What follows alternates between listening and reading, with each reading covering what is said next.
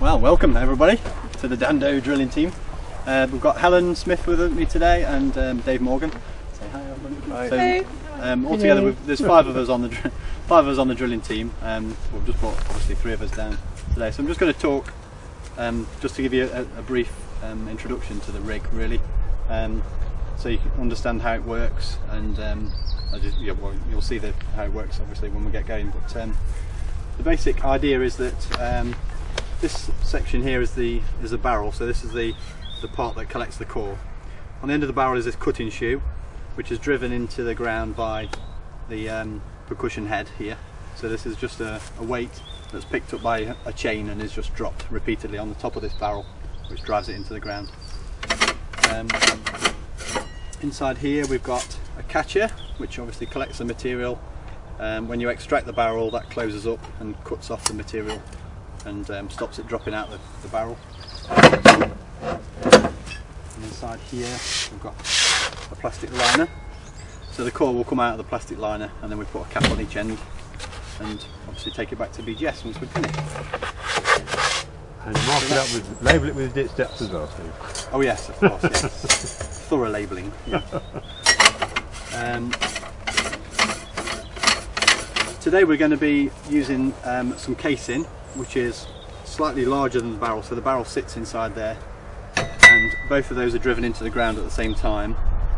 Um, we're using casing because under here we know that we've got um, sand and gravel deposits which are liable to collapse as soon as we take the barrel back out. So the casing stays in the ground, and we just extract the barrel out of the middle.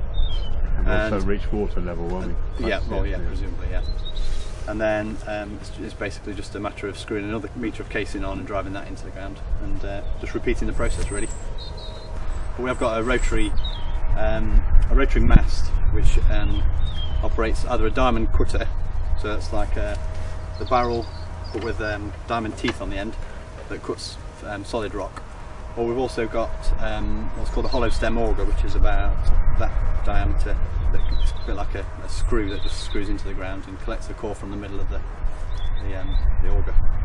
There's different methods that we can use to extract uh, material.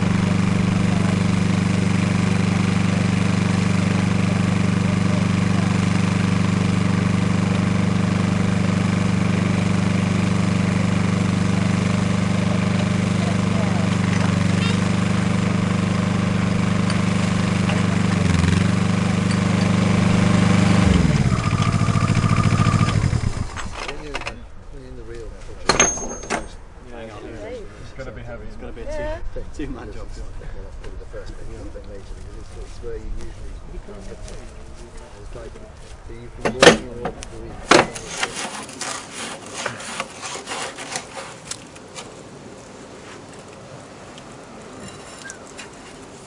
Quite a bit of it.